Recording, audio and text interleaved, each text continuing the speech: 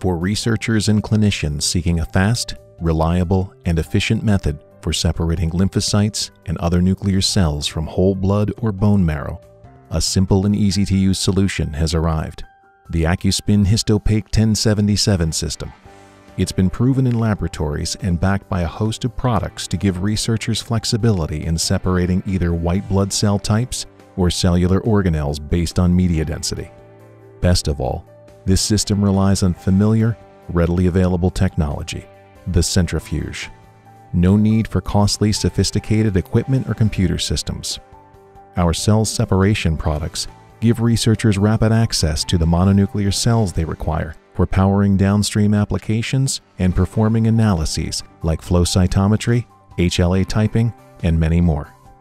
The Accuspin tube features a unique two-chamber design with chambers separated by a porous, high-density polyethylene barrier called a frit. This allows anticoagulated whole blood to be added to the top chamber without mixing with the histopaque reagents below the frit until centrifugation. Then, whole blood descends through the frit to contact the reagent, and differences in density causes a clear separation of blood components. The erythrocytes quickly aggregate into a pellet, and granulocytes becoming slightly hypertonic increase their sedimentation rate, resulting in pelleting at the bottom of the Accuspin tube.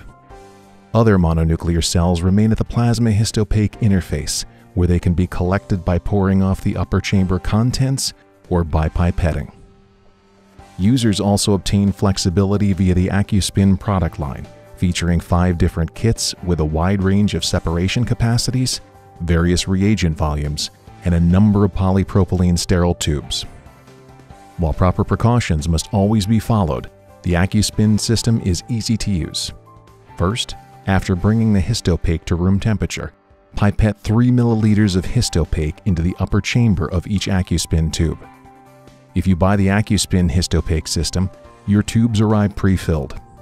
Next, centrifuge the tubes at 800 Gs for 30 seconds to ensure all histopaque is below the polyethylene barrier. Then, add the blood sample to each Accuspin tube, pouring 3 to 6 milliliters of fresh, anticoagulated whole blood into the upper chamber of each tube. The tubes are then centrifuged at 1000 Gs for 10 minutes or 800 Gs for 15 minutes, with the centrifuge brake turned off.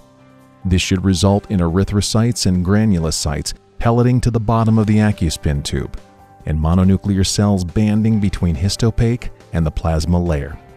To recover the mononuclear cells, carefully aspirate the plasma layer with a Pasteur pipette within 0.5 centimeters of the opaque interface containing the cells.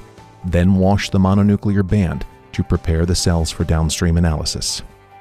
For maximum efficacy, the technical bulletin for the Accuspin system contains numerous useful tips for maximizing mononuclear cell recovery from whole blood and bone marrow.